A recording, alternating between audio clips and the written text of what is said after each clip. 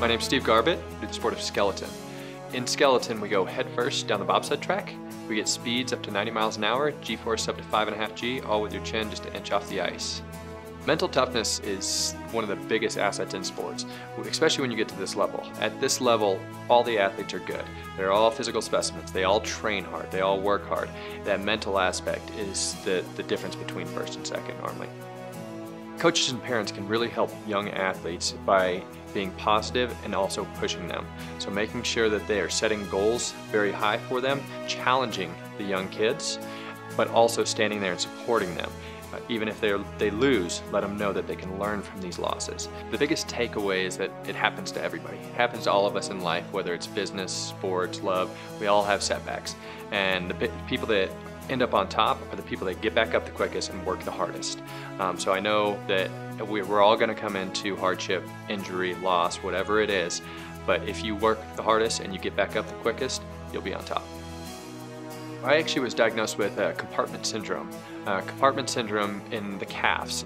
Once you get injured, there's a lot of things that go through your head. Is my career over? Um, can I make it back from this? You have, you have a lot of negative thoughts that start rushing into your mind. But if you surround yourself with a positive group, um, keeping that positive mindset is key. For a young athlete that might have gone through an injury or struggle, there's going to be days where you are going to be very negative, you're going to be angry. Find the positive things. Find whatever helps you. Find that outlet. My outlet is getting into nature and getting away. Um, your outlet might be reading, it might be doing something else, it might be playing video games. Whatever your outlet is, find that outlet so that way you can stay positive and the biggest thing is staying positive during it. On my road to recovery, my workouts changed dramatically because I went from lifting heavy weights, doing plyometric squats, doing all these explosive type drills to relearning how to walk.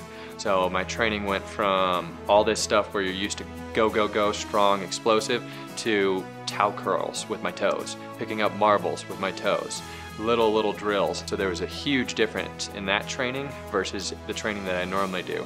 Normal training is uh, very heavy lifting, uh, very explosive type drills, plyometric type drills, jumping, uh, sprinting, any of those kind of things.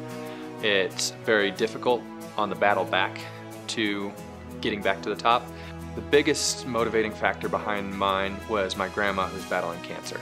Um, I saw her struggling and battling and working hard every day and that gave me the the energy that I needed when I was struggling, when I was down, when it hurt to walk, when it hurt to move.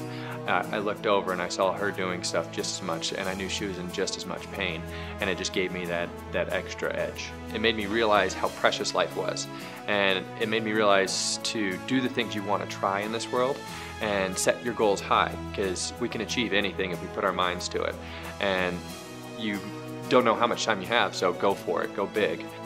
Once I got on the track and I realized I liked it, I set my goals high. And from there, I've been working my way up, and hopefully, you guys will be seeing me in 2022.